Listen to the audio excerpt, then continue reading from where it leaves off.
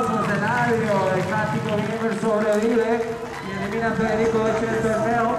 Eladio, felicidades, sigue con vida el torneo.